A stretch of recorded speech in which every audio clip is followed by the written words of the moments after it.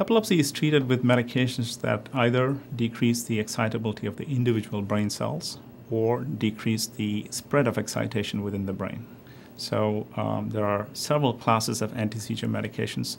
They exert their effects through uh, various different mechanisms. By mechanisms, I mean um, precisely where these drugs go and bind onto the brain cell. Uh, sometimes they bind to receptors, sometimes they alter the properties of the cell membrane, sometimes they bind to synapses, which are the connections between brain cells, and uh, disrupt uh, flow of information from cell to cell.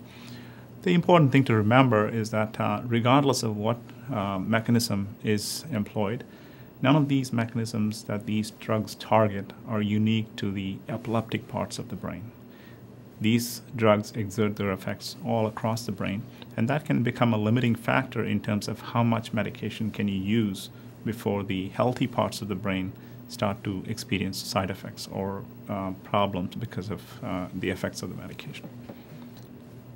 The selection of the drugs, when, especially when you combine drugs with other uh, seizure medications, depends a lot upon the mechanisms of action, whether you're combining two different mechanisms, mechanisms or not, how they are excreted.